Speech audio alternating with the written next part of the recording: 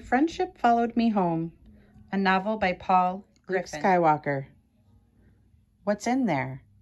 Yoda. Only what you take with you. Star Wars Episode 5 The Empire Strikes Back. Chapter 1 Chunky Mold. You have to be nuts to trust a magician. I learned that lesson the hard way.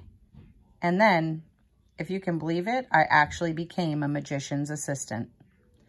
That part was the Rainbow Girl's fault. But the rest of it I blame on a little dog named Flip. The trouble started the second Friday of seventh grade. Damon Rayburn shoved me out of the lunch line. Thanks, Coffin, he said. For what? I said. Offering to buy me a slice. If you think a little threat like that could get me to surrender my pizza money to an idiot like Damon Rayburn, you know me pretty well. He slapped the back of my head and cut to the front of the line. You're half a foot taller than him, Coffin.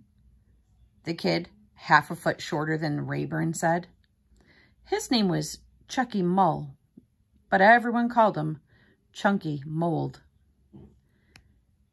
You should have belted him. Now he knows he can push you around. Allow me to quote Yoda from The Empire Strikes Back, I said. A Jedi uses the Force for knowledge and defense, never for attack. You are being called upon to defend your inalienable right to eat meatball pizza, Mold said. Yoda doesn't say, Yoda also says, don't be a wimp. Yoda never uses the word wimp, he says. Fear is the path to the dark side. Dude, hello, the Phantom Menace. There was no debating mold on this stuff. He had the t-shirts, the sheets too.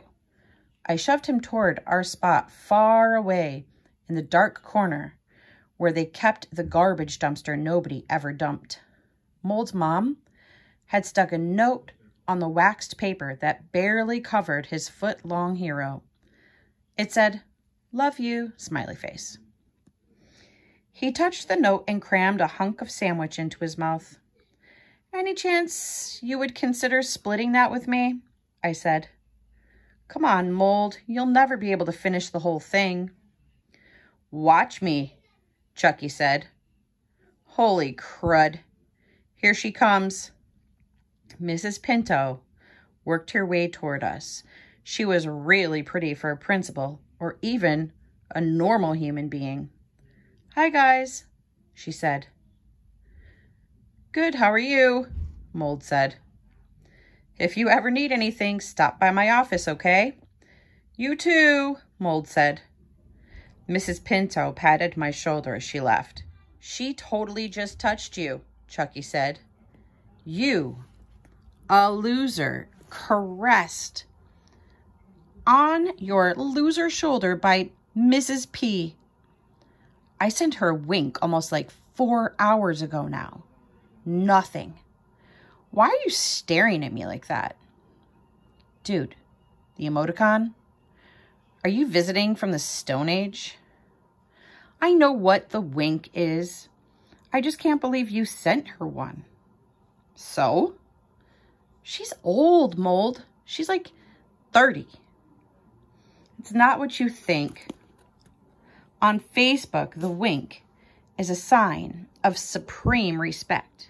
It's like when somebody inspires you, you wink at them. It's true. It's an ancient custom that goes all the way back to classical times, the Greeks, the Romanians. It's like you're bowing to her to acknowledge her awesomeness. Then why not just send her a bow? Because there's no emoticon for that, you moron. Just because she has a totally amazing butt doesn't mean she can't be my hero, too. For her, you know, incredible wisdom and everything. That's why you winked at her, her wisdom. What do you know anyway? You're not even on Facebook. It's a real thing, I swear. In many cultures, it's considered rude not to send the wink. He batted away a fly from where the peanut butter slimed his lip like a gooey booger. I had to believe first. I had to believe him firstly because you can tell when somebody's lying. And he truly didn't think he was. And most of all, because he was right about me not being on Facebook. The whole friends thing, it wasn't really happening. Even mold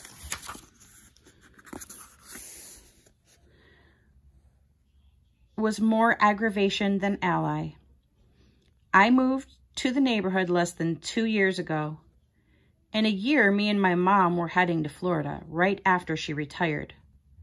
We could live great down there for cheap, she said. I figured why bother making friends when I was out of here pretty soon. Chucky, not even a bite? Really? I said. Dream on, he said. Or something like that. I couldn't tell with the sandwich all gunked up in his braces.